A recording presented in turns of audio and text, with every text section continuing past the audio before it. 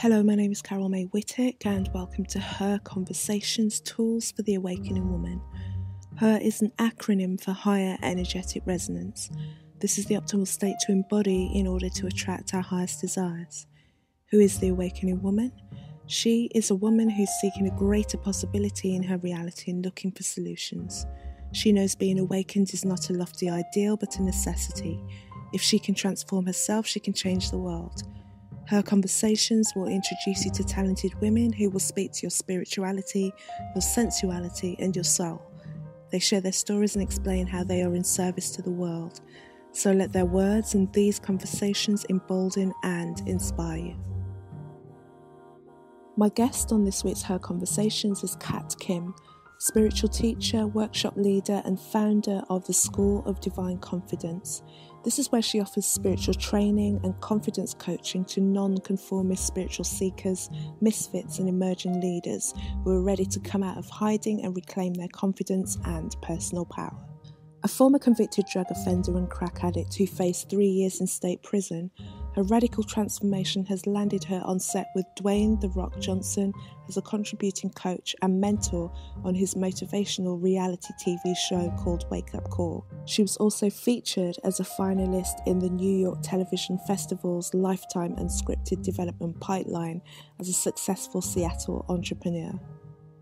During our conversation, Kat shares how, after battling addiction, abuse, and depression for decades, she now helps changemakers all over the world step into the best version of themselves where they can truly make a difference. So, as always, I begin by asking my guests Her is an acronym for higher energetic resonance. When do you feel at your most her? Ooh, when do I? Oh, I love that. I love the way that that was framed. Ah, very good question. Let me think. I Mm. feel like I am the most her when I am really grounded in what I call divine confidence. Mhm. And for me, divine confidence is having an unshakable knowing and unshakable faith in knowing who you are and what you're here to do, Mhm. regardless of what's going on in the world outside of you Yeah. regardless of any political things or even regardless of any personal challenges that you might be going through i feel like um, you can still have divine confidence even though everything on the outside is not perfect and so that knowing being grounded in um, knowing who you are and what you're here to do that's when i feel like her That's the answer. Brilliant. yeah Perfect. And do you know, I, I and I just want to ask you to just tell as much as you you feel comfortable with about your story, because every Sure. woman has a journey that gets her from where she was to where she is, and and what she's offering. So I really want to know what led you to be where you're at today. Yeah, sure. So I think my journey began when I was six years old. My mother began feeding me diet pills. And I don't remember if this was because she had asked me to, or um, I don't remember if I asked her to help me or if if it's because she wanted me to. I just remember feeling really ugly and fat and unwanted, unworthy. I remember feeling an intense pressure to change myself and conform to the standards that I was seeing around me, all by the time I was in second grade. And thus began, I think, a lifelong struggle of low self confidence and low self image and really, um, really horrible, unhealthy body image issues. And I also grew up in a very abusive, um, emotionally and physically abusive environment. So I started rebelling at a very young age and I started smoking and drinking when I was 13. I started doing hardcore drugs when I was 16.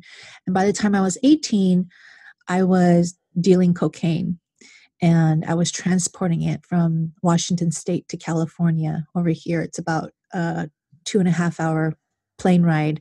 And I was doing it on the plane. and this was before 9 11.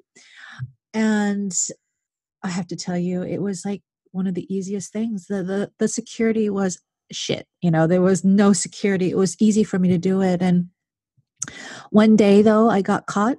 I was handcuffed. I was put behind bars and um, suddenly I was facing three years in state prison. Mm.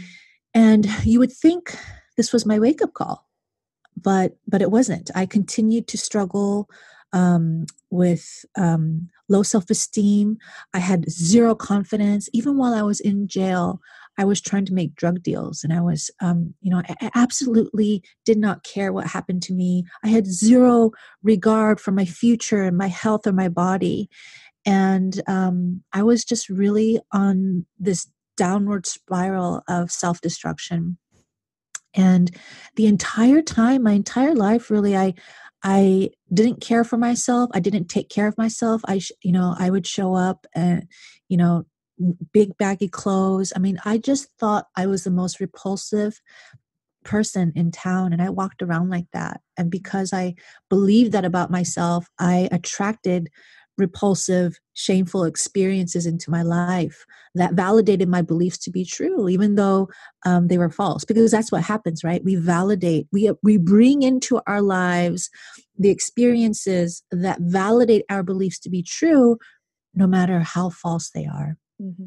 Mm-hmm. So, it wasn't even until many years later, after um, being in jail, I had cleaned up the drugs. I cleaned up. I, I was no longer addicted to um, cocaine or crack um, or any of the narcotics, but it didn't take away my problems. This this feeling of self hate and um, disrespect for my my future for my life it continued on and it showed up and it manifested in the form of um, emotionally abusive relationships with men who you know ridiculed my dreams um, who put me down and um, I was really, really depressed during this entire time. And I remember one day walking down my apartment hallway to the elevator door.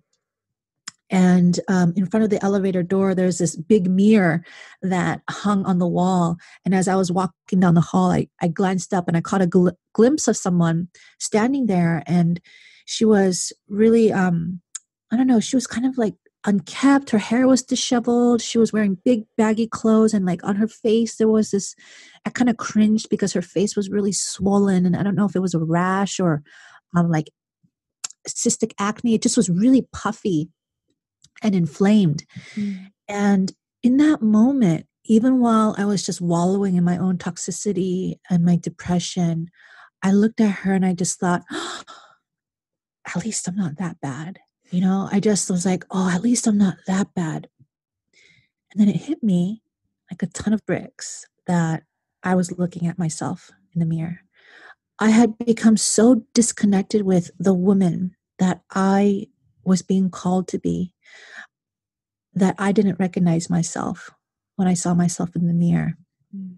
And that was the moment that I decided I would do everything it takes to become her, to become that woman that I was being called to be. I wanted to step into a room and have people notice me, not forget that I ever existed. You know, I wanted to be somebody, do something important, make an impact and transform lives. I did not not be a social degenerate like I was, you know, and so I began studying everything under the sun that I could um, get my hands on when it comes to personal transformation. And so i became a um, licensed um, a certified professional image consultant. So i began studying you know body style body shapes colors you know i began to learn about how to draw the essence of a woman out and translate it um, into colors and style and you know makeup and hair and all that and then I became a nationally certified personal trainer where I began studying um, what the physical body goes through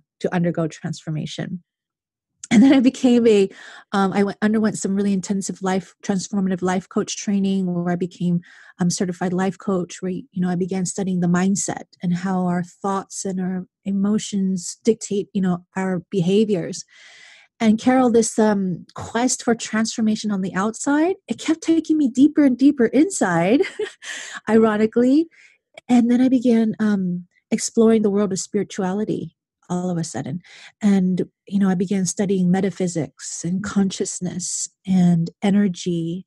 And I became so fascinated with spiritual laws and how they impact our physical universe.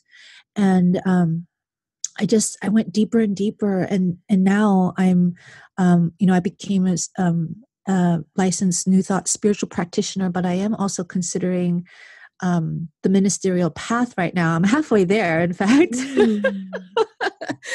yeah, so this was not planned. It was not planned. I just wanted to look good on the outside, and now I'm thinking about, um, you know, going down the ministerial path. But I do really believe that, you know, what we have inside of us and our consciousness and the thoughts and emotions and beliefs that are existing underneath the surface that's where the work really is. And when we can get into that deep place and and be open even to um, the discomfort that comes from opening up that that kind of um, unconscious uh, i don't know window and looking into ourselves and seeing the pain and the suffering that we have experienced as we're growing up, and also the pain and suffering that's going on um, collectively in the world. I think when we can open that door and begin to look at that, that is where the most powerful transformation lies. That is where the magic happens. That is where um, real power and in, infinite, endless love. That's where it exists underneath all that um, discomfort mm. and i think unfortunately in this world today with um, you know our culture of consumerism and materialism where it's all about like buying this and buying that to be okay um, that we're we've become addicted and um, many well addicted is a good word we have become addicted to distractions whether it's with substance abuse or too much netflix or too much social media mm. we are so afraid to look at the discomfort and the pain and the suffering and instead we want to um, distract ourselves and so we're missing out we're really really missing out on so much um, growth there so now my work is it, it's really transformed into um, this work where i try where i help people work through that and so that they can step into their calling as well um, to make a difference in the world. Yeah. Such a beautiful one of my favorite um, addictions is if you call it that yeah i call it that is transformation mm. i love mm. watching transformation programs i, I recently because I, I, was out in bali and i didn't i kind of like shut my netflix down and then yeah. i opened it up again and there was like a new series of queer eye on and i just love a transition just yeah. from the beginning you know and you're watching that and you're seeing these not only the the guys that kind of come in and work on it but you see that one person mm. and you mm. see how you know all of the things that you've spoken about talking about um, how they start to work on their body whether it you know they just start to walk around the block or they start to eat less fast food or and then you know they get taken and look at the clothes and the hair and their environment and the trans the person that they are at that, that end of that episode and you have to kind of like just scroll to the beginning to see where they were. Yeah that yeah. there is within everyone there's like that possibility i mean sometimes you can tell at the beginning that you can just see it already you know things yes. that they say and you know that where they're going to be but it's like one of I've always loved programs like that because I always like to yeah. see that there's a possibility. Even when I was watching it just for it's like I you know, I know it can happen for myself, yeah. you know. So to see that and to hear that you went through the like the, the outer the image consultancy then you went into physical training yeah. and then now you're going into like spirituality and then now you're going into into ministry really it's yeah you know yeah. and you'd think sometimes that they don't go hand in hand but they there there's oh. a lot of oh. similarities isn't it i think they just absolutely got, they got there's yeah. a wedge that got put there that isn't really there yeah, absolutely. For me, it's all about like what you. I think you use the word resonance. It's about for me. I think um, you know when a woman is most powerful is when she is completely aligned with you know her her inner calling, her inner self. When she's standing in that place of divine confidence, mm-hmm. and everything about her personal image. When I say personal image, there's it's not just how you look. There's what I call four components of your personal image. It's your ABBCs. It's your appearance, it's your body language, it's your behavior, and it's your communication. Mm-hmm. And when you align all those components to who you are on the inside, that is a powerful, powerful woman. And not just that, but it becomes you you magnetize the right people, the circumstances, and the resources to you because you're you're you are showing up in complete resonance and alignment with who you are, which is also aligned with your calling Mm-hmm. And when everything is congruent like that, people just like you, they trust you, they know you immediately. And that's the power of aligning all of that. Um, when you know, then you see people who are, you know, when you you get a you get a sense, you know, you look at someone, you're like, oh, something's a little bit off. You don't you don't really not really dissecting it, but you're like, you just not attracted to that mm-hmm. person. I don't mean physically attracted, but you just you get a sense that oh i don't really want to talk to that person.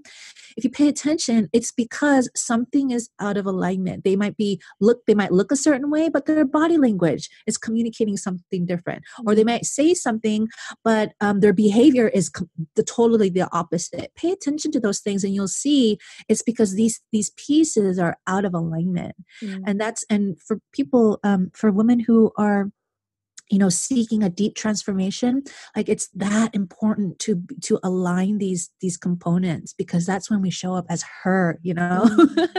her and, and what you're saying about attraction it just reminded me years ago i was a waitress in a members bar in london and the this is like kind of like Spice Girls time, and like uh, Victoria Beckham came in, and it was the tiniest of places, and it was very exclusive, so not many people were allowed in in the first place. But she came in, and I think she'd just cut her hair and just had a baby, and she's kind of wearing the the um, kind of the all-in-one suits. That that's the phase she was going through, and I remember she walked in, and this is like a really kind of dimly lit um, members bar that was kind of like quirkily um, like decorated like someone's house. And from nowhere it was like nobody said anything and yet people came from out the walls. And it was literally one she just had this thing where she just walked into the room. I, I suspect like beyonce's got the same thing you know she didn't yes. say anything. She didn't yeah. come in with a bell. It was like she walked in and people just went boom boom. Yeah without even realizing it. And you know and of course she's got that kind of thing and, and many people who exude that will just just kind of draw people yeah. out of the woodwork people that you didn't even realize people were in the room and then suddenly there's this whole crowd around. I think i'd suspect as well people wouldn't even realize they were doing it. It's yes. like something drags you in and you don't even know why. Absolutely. 100% yeah. and and so being aware of these you know how these four components align it's it's it's it's like a um you know it's a human protection thing we mm. are we are geared to we are um created to know what is safe and what's not safe mm-hmm. so when we look at someone for example i mean another a completely different example is if you're walking down the street in the dark and you see someone coming at you with a bat you know that's also reading their personal image. You are reading their appearance, their body language, their behavior, and their communication. And you know instantaneously to run, you know, to or get out of the way, right? Mm-hmm. So, this natural instinct is very, very primal within us to be to move towards something or to move away. Mm-hmm. We've all got it with us. I was curious to mm. find out what um, books you, what new thought books you you'd read when you kind of were going through just like absorbing all of those? Oh, oh, that's a really good question. Um, and you went I, to like the old school ones, right? Yeah, I did. Yeah, yeah. They're not. They're not the popular ones that you know people read these days. Because I, I, was in a program where I was, you know, I was in training mm. um, to get licensed, and um, let me think if I can think of something off the top of my head. I'm horrible with names and titles. Um, I've got a list know. here because I've got I've got a little thing. Let me see. Because I, I was going back, I found this app. There's this guy that's got this app that puts all of them out, and he's got a lot of the ones that I had from years ago. So, like James Allen, Neville yep. Goddard, um, yeah. Napoleon Hill, uh, yeah. Orison Swett Marden, um, Catherine Ponder, which is a great one. Yep. Yep. Florence Scovel Shinn, that kind of crew. Yep. Yeah. Yes. yep. I've read all of them.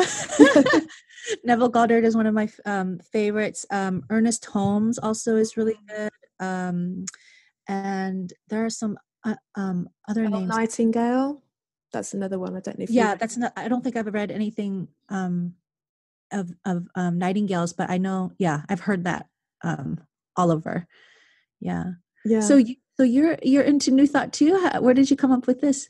Do you know what I I'm I was talking about it to somebody else the other day, and it was it came to me um, the first person that ever introduced it to me was like a, a, guy that i was seeing and we didn't even i didn't even see him for very long really but he yeah. told me to get the game of life and how to play it and oh, he was like okay. always raving about rave, raving about that book and like the first few times i read it it was like yeah it's a nice thing you know mm-hmm. and i didn't really it didn't really kind of hit me it was just like okay that's interesting but i wasn't ready for the information to kind of sink right. in yeah and then and then years later, and I remember I was about to go out and visit family in Miami, and I read.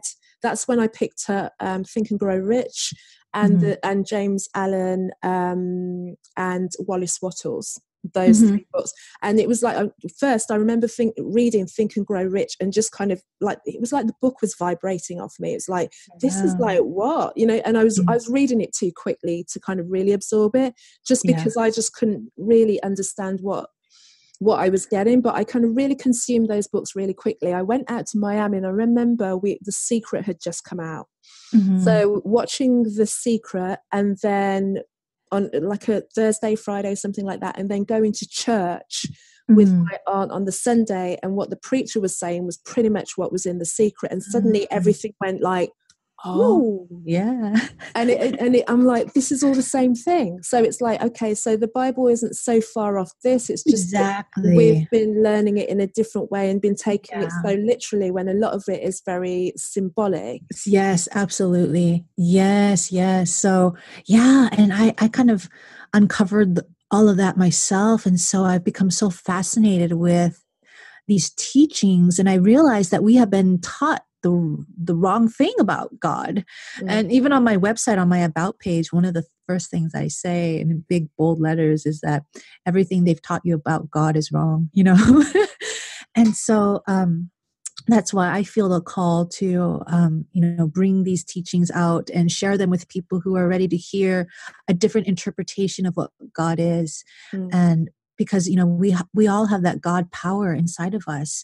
We all have that god intelligence that god love inside of us. God is not a white man in heaven with a staff and you know judging us for for our transgressions. God is inside of us and we have the creative power that god has. And so um, I think just in each and every one of us, we just have so much potential, so much potential. Mm. And even, you know, my my uh, I was sharing my story earlier, like the vision that I had for myself. You know, I wanted to um, make an impact and transform lives. For me, at that time, that was absolutely impossible, absolutely impossible. But I felt a deep burning desire to become that person and for me that was a calling for me to step into that um, into my power and confidence as a woman mm-hmm. and um and i believe that that that burning desire exists within everybody and that burning desire is is is is um, divine it's absolutely divine within us to do more and step into something um, really really beautiful mm. Yeah. and i think and, and like you say you know it's very easy to get distracted and and, yes. su- and, and submerge it with food or consumerism or television and everything like that and, and a lot of the time you don't even realize that's what you're doing exactly uh, you know because the, the, the you're being entertained or you're being drawn away from taking time to actually notice yourself or, or kind yeah. of tap into why you're feeling not so good or you know kind of measure your feelings and um yeah it's a it's a great it's a great distraction and we've got brilliant Absolutely. distractions in this world yeah and i like that you call yourself a, a spiritual nonconformist where did yeah. you where did you get to that point Oh, you know, it's a really good question. I have always considered myself a nonconformist and I consider myself a spiritual seeker. And then I just put those two together. Mm. And then the wild thing is, within a day or two, probably, I came across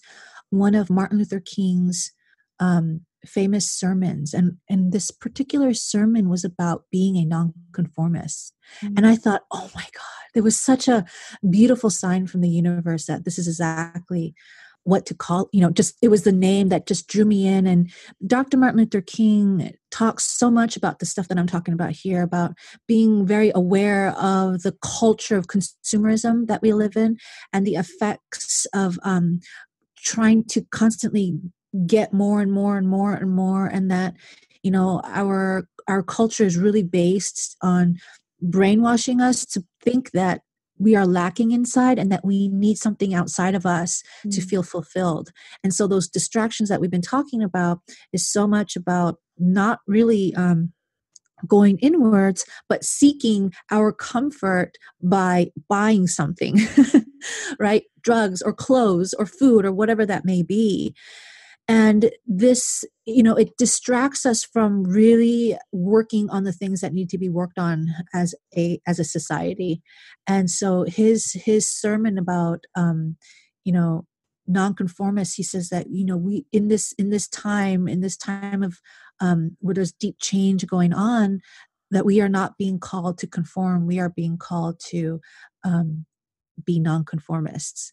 And it, it just resonated so deeply with everything that I w- was experiencing just on my spiritual journey. And so that's where that's where that ties in with actually mm-hmm. with Dr. Martin Luther King. That's amazing. And there's yeah. a there's a quote that I'm trying to recall and I can't remember who it's attributed to, and I can't remember the quote, but it's got it's got um, that being a nonconformist is the, an act of rebellion. Do you know which quote I'm trying to pull together? Do you know, no, but it, it, it, it, kind of, yeah, it makes sense. Yeah, it's very much in alignment with. Um, so for me, a nonconformist is someone, a spiritual nonconformist is someone who is actively um, dismantling the status quo in the way that um, feel that is aligned with their natural aptitudes and um, what they're being called to do. I think we all need to do that in our own way and um, otherwise we are conforming to a consumer culture that really um, keeps us addicted and codependent mm-hmm. on consuming and producing and consuming and producing and if you notice that so much of our social ills are coming from it's an epidemic where people are just being burnt out they're they're depressed um, especially in the western world. I mean in america there's gun shootings. I mean it's it's it's very very serious. It's not something that's so far off and you know a different world. It's actually ha- in, happening in our backyards now. And so there's something very very um, wrong about the way that we're living right now. Mm. and you know for me i boil it all down to um, um, this culture of of trying to constantly produce, produce, produce, and consume and consume and consume. I think that's at the crux of it. And, you know, for me, the spiritual journey is not about seeking something outside of you, it's about going inwards. Mm. That's where not only is that where you're going to find God, but that's where you're going to find your divine confidence. That's where you're going to find your purpose. That's where you're going to find your power and your beauty and your inspiration. It's all there inside of us. But we don't know that. We think it's somewhere outside and we have to buy something to make it happen. Mm. And then we just keep buying and buying and buying and get surrounded by yes. you know all of these things and, and, and then wonder why it's still not it's still not going away until exactly. then you have someone like then to, to talk about another program like Marie Kondo will you, you then start to really look at yeah. these things and like why have I got all of this stuff you yes. know and, and for someone who's like majorly downsized i'm like completely always downsizing having known that it is possible to live out of a suitcase for four months you get yes. bored of seeing yourself in the same things sometimes but you know it's it's it's it's not life threatening you know you just kind of circle things and it can happen and you can be really self-sufficient from so very little and you feel very free you just as a yeah. as a western person you know even when i was out there i was still just kind of flicking through vogue and just seeing what was happening you know yeah. through the seasons but there was no great need there wasn't that great need to go okay right this is the color now so i need to like jump on with the color so i'm there and i suppose you come it's interesting actually to find out from you as somebody who was styling shopping. yeah. Shopping for a living? Absolutely. Yeah. How how that kind how that kind of ties into that where you're then yeah. introducing women to different colors as well. Yeah just kind of like elaborate on on that on that work. Yeah and um so here's the thing about the work that i did. I, I, my work was about almost like what you said it's about actually taking stuff away because what we do is we bring in and we consume and we purchase all these things that we don't need that are very much out of alignment with our true selves.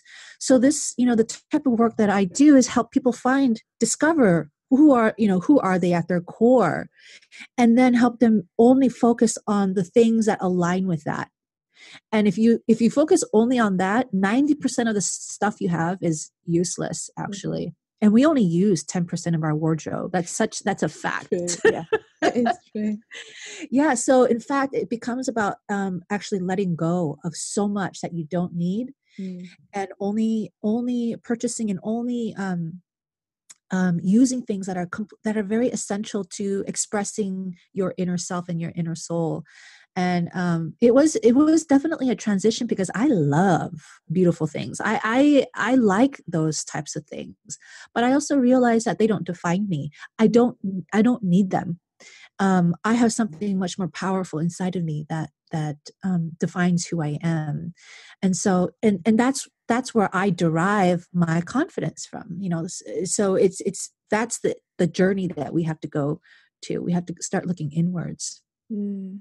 And as a kind of backtracking onto like your personal training as well, and as a woman, and you know the pressure that the the the turn of pressure that is on a woman to like fit into some some certain shape and some certain size even though there's a little bit more leeway than than there used to be. And I mean, it's like loath to call Ashley Graham a plus size model because she's mm. like in in in where really, you know? She's yeah, like she's she doesn't strike me as plus.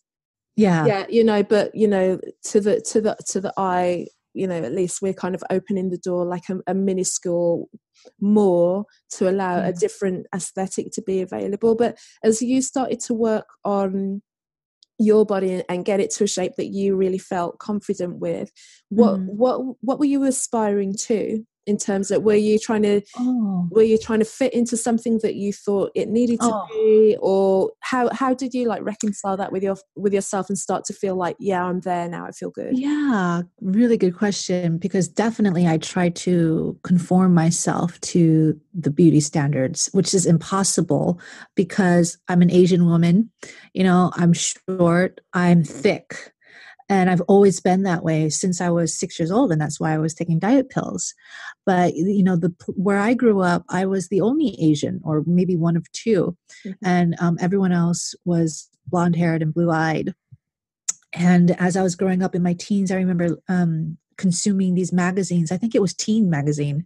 You know, you got the perfect, you know, um, white girl on the cover, and she's blue eyes, blonde hair, and I'm nothing like that nothing you know and so so so much of my struggle was about trying to somehow conform myself to look like her um which is impossible again because i also have really um, i have lots of muscle i'm a thick girl and i tried so hard to change my body shape but it just it I can't, there's no way, there's never a day where I'm going to have really, really thin legs. I just have a lot of muscle.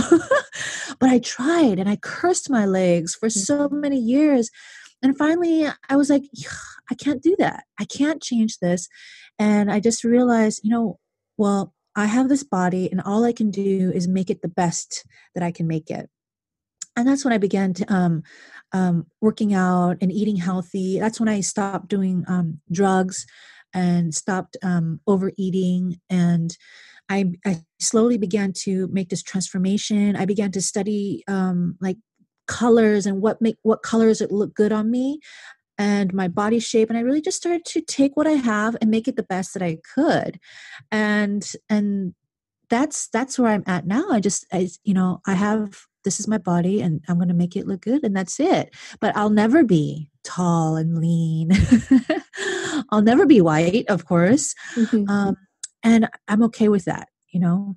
Yeah, I mean, it's interesting as a woman of color yeah. to see like what's happening with everyone injecting their lips and like putting in like cement right. on the extreme to kind of like get this butt. Where when I was younger, that was like that was like you know no pun intended but it was the butt of everyone's jokes and i i'm like yeah. i'm tall and also i i was athletic so i had yeah. like the big runner's thighs and everything like that and then i had like chunky bum and like big lips and everything and it was yeah. it seemed to be so funny but what now is really peculiar is the extremes that women who are naturally were the epitome of perfection, the slim white girls, mm. mainly are the ones who are then just augmenting over augmenting kind of you know to me yeah. looks like kind of destruction really because you're you're, you're yeah. when when you've got you know your frame is kind of built for what you've got so if you do have like a larger posterior your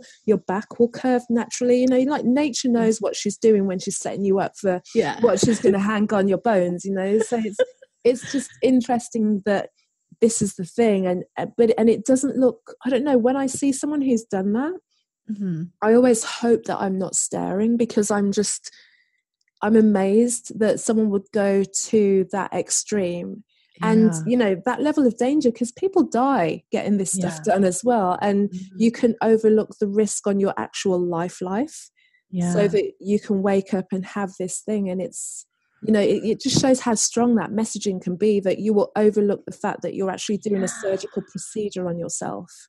Right and again it, it goes back to this obsession and this this constant um, seeking of trying to fulfill a void within us by changing something outside of us or consuming something mm. it's um it really distracts us from doing our soul work here it's it's it's an epidemic mm. absolutely mm. and you know with the work that you're doing and what are you always hoping to what point are you always hoping to bring your clients and people who work with you to? What's your i mean i know yeah. everybody's different but when when someone comes to you like this is where i want to bring this person to? Yeah oh that's another good question. Um so have you ever watched uh, the movie with professor x and the wolverines? What is that movie? Do you know which one? Well x-men. Is it x-men that kind of yes. Is yeah, x-men. I have x-men I haven't seen. I'm I'm kind of like out of the loop of that whole. Oh, okay.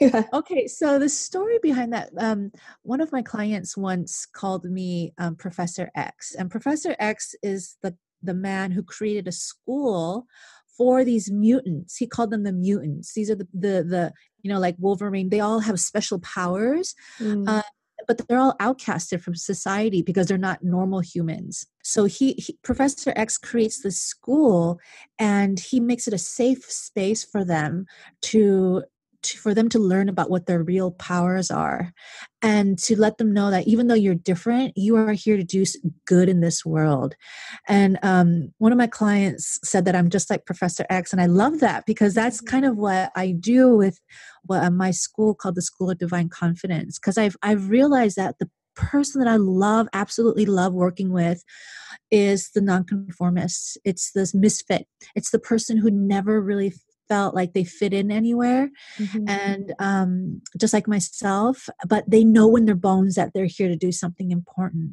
that's the perfect person i love working with because i can spot them and i can draw out um, their gift that they're here to give um, to the world.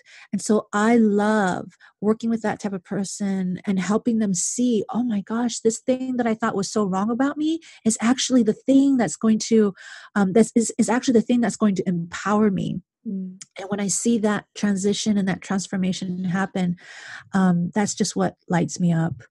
Great, great, and and yeah. yeah. it's getting someone to kind of like recognize that they had it all along, you know, like yes. Dorothy. exactly. yeah. So good, so good. So the school of uh, what do you call it again? Divine confidence. The school of divine confidence great. Yeah. so yeah that i've got a set of questions that i ask all of my guests which are okay. the um, her conversations questions basically. Okay. And the the first one i want to ask you is what is the best piece of advice a woman has ever given to you? Um so as i've shared with you i really grew up with really bad body image issues.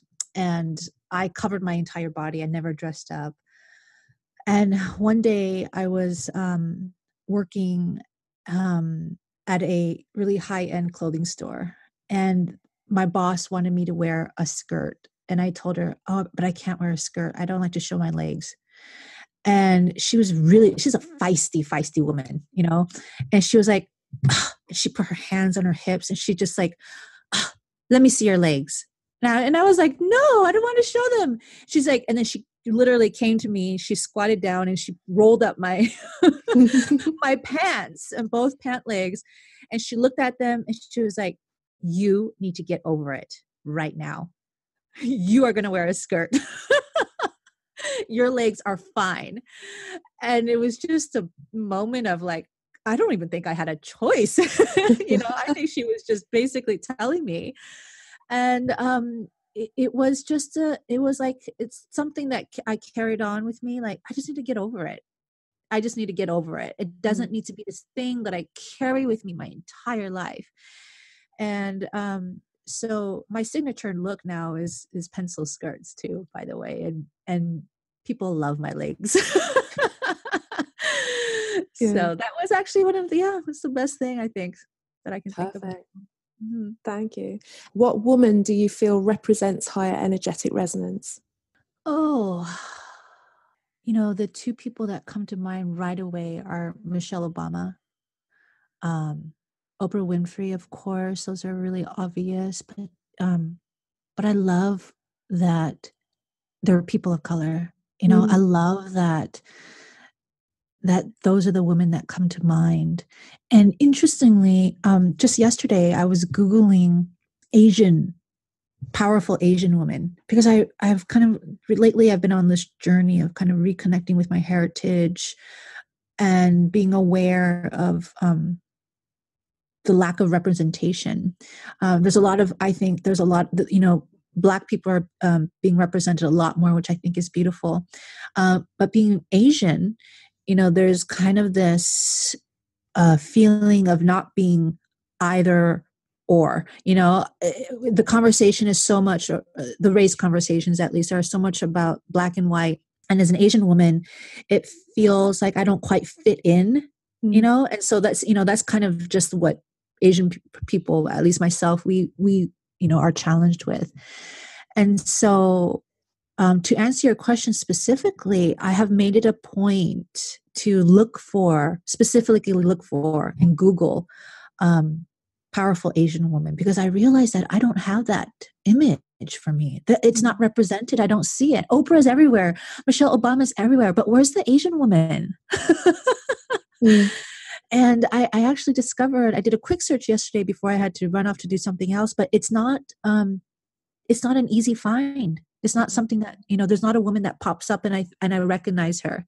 So I think I think to you know really just to summarize my answer to your question is that i'm going to actually make it in a point make it a point a conscious effort to find a woman that looks like me that i can look up to because there is something that happens when you recognize um, somebody in you you know or you recognize yourself in somebody that's really um, powerful sure and it's and it's interesting that you you're you're saying that because i'm i'm thinking as well it's i mean it's interesting that you know the the names that always crop up when mm-hmm. I'm asking that question. The, the two names are Oprah, Michelle Obama.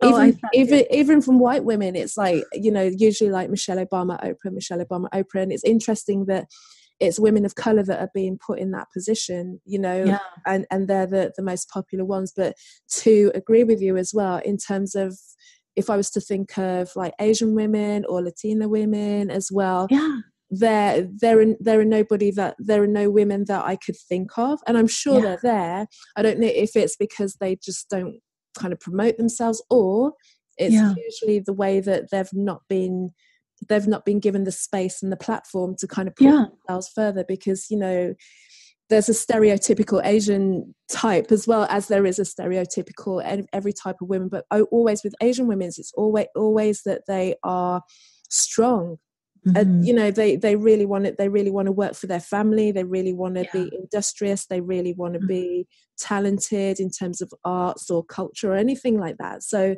yeah. there, there, there has to be them there has yeah. to be representatives of, of those women out there and like you say we just need to see them more yeah absolutely yeah yeah I for agree. you and also for the girls underneath you that, yes. that are coming up that that want to have someone to aspire to and not think okay i don't look like her but you know yeah absolutely yeah let me know who as well you know because this will, is something I will. Mm-hmm. i'll be i'll be interested in just reading more about that. Yeah. And yeah. the other question is what's your favorite self care ritual and practice? Well, meditation and prayer are um, a daily habit that I have, but one of the things that I do that I make time for every I try to do it every six months, but sometimes it doesn't work that way, but at least twice a year.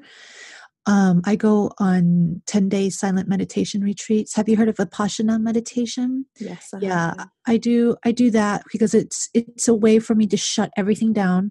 Um, the internet, the world, my responsibilities, and to go inwards. And I found that this practice for me has been really, really powerful. It's like a really deep, surgical um, soul cleanse every time I come out of it, I feel like a layer of my ego has been disintegrated. And it's not easy, but um, um, I, I, I, I gain tremendous value out of those retreats. Mm, beautiful. I've not been on one, but I'm, I, part of me thinks I might enjoy it too much.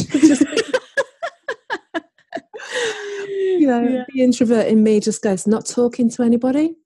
Yeah, that's cool.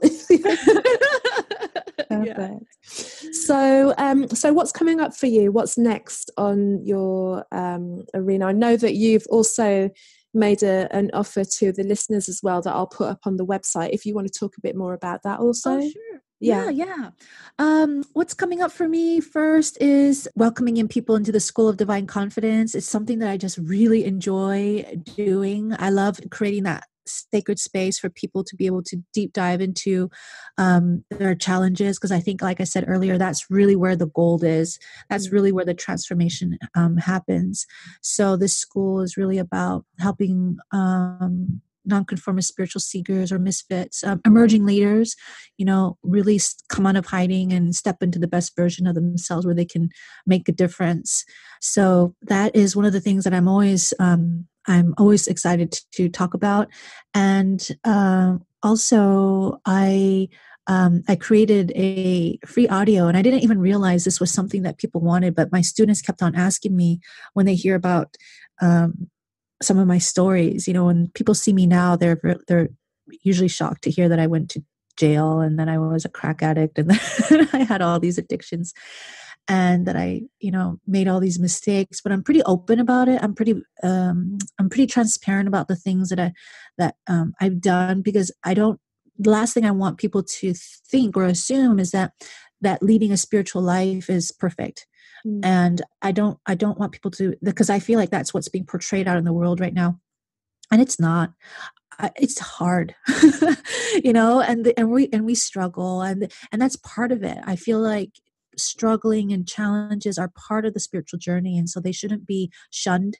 They shouldn't be turned away from There are things that we should look we should be able to look at squarely in the eye so um, my students kept asking me well how did you overcome all of these challenges? How did you overcome the shame and the guilt? And so i um, i realized when they kept asking me that you know actually there is there is this question that i've always asked myself even when i was at my lowest point hitting rock bottom, there's a question that I ask myself when I ask myself this question all the time actually and i for me it's like a magical question.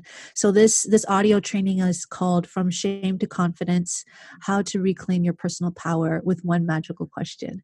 Mm. and um um you know in the in the training i go into a little bit more context um to set it up um, but it really is the thing that i it's the one question i've asked myself over and over and over again to help me overcome you know challenges such as you know being a convicted drug offender and or getting an abortion or making financial mistakes.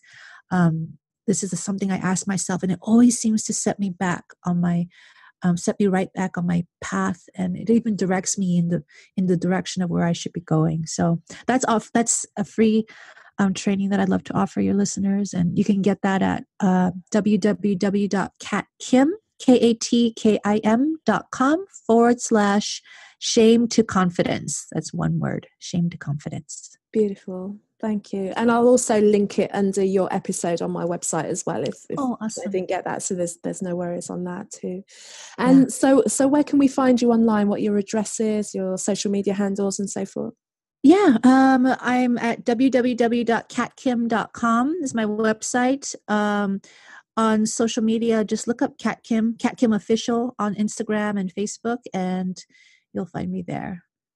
That's perfect. Just want to say thank you, thank you so much, Kat, and sharing your story. And it's yeah. been super exciting to just hear about you and speak about you. I've been speaking to so many different women this yeah. week, and I'm just really filled up by by oh. what's happening. So that's welcome, beautiful. Welcome to the Her Conversations Club. Yes, I love it. I love what you're doing, Carol, and whatever I can do to support you. Thank you for having me. No problem. Thank you so much. Thanks to Kat for joining me on this episode of Her Conversations, and thank you for listening. You can discover more about me by visiting my website, which is carolmaewhittick.com. C A R O L M A E W H I T T I C K.com and Her Life Academy is now open. So, this is monthly instruction and inspiration for awakening women. It's created and created for you to magnify your spirituality, your sensuality, and soul, and live a life in higher energetic resonance.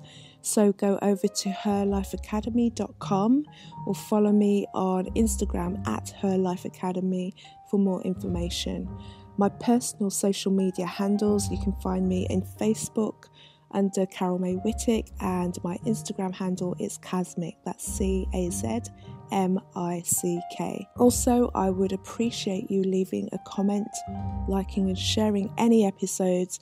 And also, if you subscribe, you'll be notified as soon as a new episode is published. So, thank you again, and until the next episode, have a great week and goodbye.